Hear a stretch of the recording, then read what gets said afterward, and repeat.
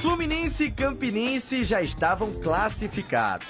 O jogo, que foi o último da fase de grupos, valia a primeira posição.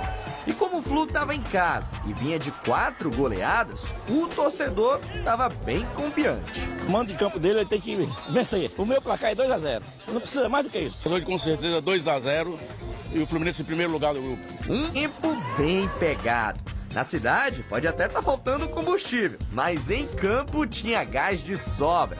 Debaixo de chuva, os dois travaram uma verdadeira batalha. E foi em meio a tantas faltas que o Flu conseguiu chegar. Rodolfo mandou uma bomba pro gol. Segundo tempo, quem aproveitou foi o Campinense. Bola na medida, que fez 1 a 0.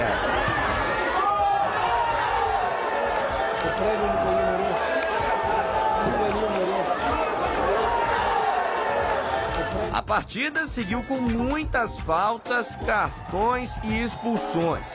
Do lado rubro-negro, o Fábio Leite foi expulso depois dessa entrada no Diego Aragão. Do lado tricolor, quem levou o vermelho foi o Rodolfo. Já 31 minutos na pressão, Jefferson até tinha feito um milagre, mas o Eduardo colocou para dentro e fez o gol de empate.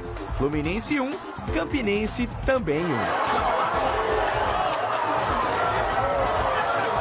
Muito feliz, a equipe toda está de parabéns por, por a doação e, enfim, todo mundo está de parabéns. Um jogo muito difícil contra o Campinense, agora é descansar porque estamos classificados e, e vamos esperar o próximo adversário. Com o resultado de 1 a 1 o Fluminense terminou essa fase de grupos da Série D na segunda posição. Com isso, o time avança para a fase mata-mata, mas vai decidir o confronto jogando fora de casa.